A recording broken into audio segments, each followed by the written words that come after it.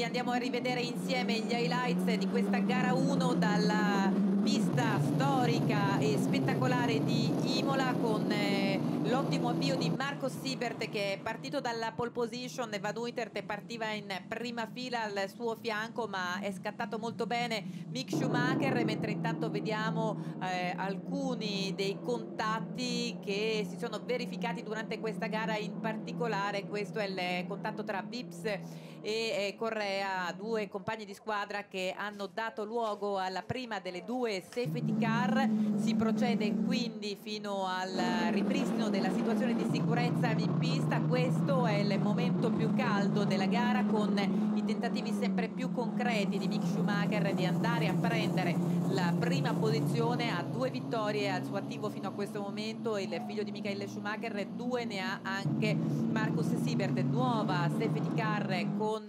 eh, l'uscita eh, nuovamente eh, di una vettura vettura che avete visto eh, addirittura ehm, viene,